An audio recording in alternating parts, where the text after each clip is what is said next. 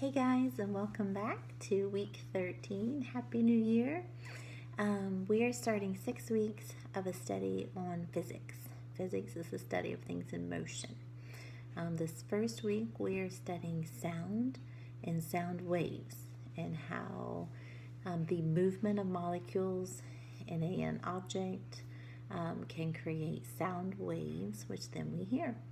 So, you could start out talking about sound waves if you have an illustration. Um, the handout I gave you has one picture and um, talk about if they, you know, ask questions if they know anything about how do we hear, how do sound waves travel, um, what has God gifted us with that takes movement of molecules, um, sends it to the nerves in our ears, and helps us actually create sound. Um, it's a pretty cool process how that all happens. Our two experiments are pretty simple, and so you'll have time to expound a little bit. Each of them are going to be done as a tutor demonstration, and then the kids will each have a turn after you. So you kind of show them what to do, and then they each get a turn, and then you can discuss it. The first experiment, spoon bell. Um, your supplies will be a spoon and about 30 inches of string. You then tie the spoon to the middle of the string. So it's just about halfway, it doesn't have to be exact. And then you're going to wrap it around your first fingers, just a time or two. Um, you want to be about equal on both sides.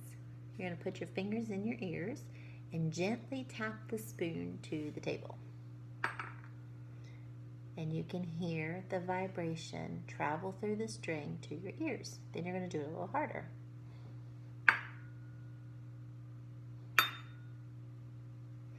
Um, so on the outside, you hear a you hear a dong, but as you're listening, it actually you can hear the vibration. It sounds like a bell, um, like you've just hit a bell. So it's pretty cool.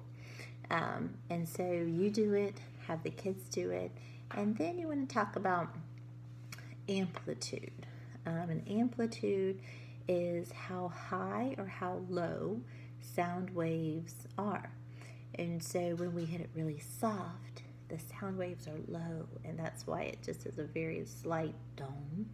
But when we hit it harder, the sound waves are higher and it makes it louder. So amplitude is how high or low sound waves are, which then correlates to how loud or soft the sound we hear is. Um, and so again, you can expound on that as much as you want, um, but it creates a bell. The second one is our humming glass. And again, for all of these, you really want to emphasize the scientific method. So go back to that sheet, ask the questions under each thing. So the first one, um, you know, what is our purpose? What is our question? What are we looking for here? And um, research would be the information you give them or the information they can give you, a background information about sound, sound waves, so forth. Um, what are their hypotheses? You know, with the spoon, you can ask them before they hit it, what do you think is going to happen when you hit it really soft? What do you think is going to happen when you hit it really hard? Um, with the humming glass, you can, you know, what's going to happen when we create friction on this glass?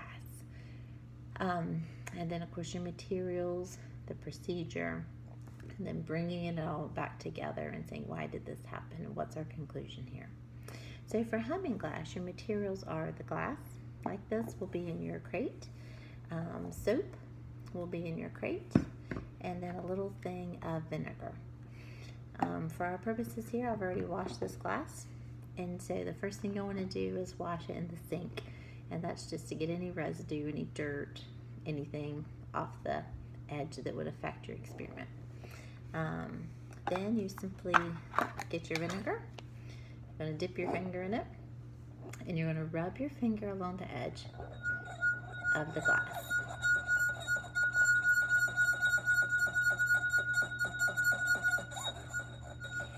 Can hear it creates a very high-pitched sound. Um, and you can ask, why is that? What's happening when I'm just rubbing this? If I use my finger without vinegar on it, there's nothing. I'm doing the exact same thing, but you do not hear any noise. Why is that? Well, it's because the vinegar against the glass is creating friction. I just barely touch it and it does it. Um, the friction is then vibrating, shaking the molecules of the glass, which then um, creates sound. It's vibration, just like the spoon vibrating creates the sound. And so with this one, the first one we talked about amplitude. With humming glass, you can then go on to talk about frequency. What happens if we spin faster? What happens if we spin slower? Does it change the frequency? The frequency would be how high or how low um, the sound, the pitch is.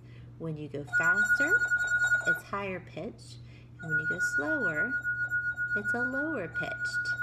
Um, and so you can play around with that. If you still have time, you could put water in this glass and see if that affects the vibration of the molecules. Um, and again, at the end, of course, you're going to wrap it up with just the wonder of God's creation, how He made our ears to hear, how He made the um, the whole idea of sound waves and how molecules hit actually create sound. The same. Um, what are other things that we hear? We hear you hear my voice right now. Why do you hear my voice? Because my air is vibrating the air um, between me and my phone, and it's creating sound. Um, the you can talk underwater. Does that affect how your sound is transmitted? How do whales hear underwater? How do animals communicate? Um, so all of that you can expound on even more. Have fun.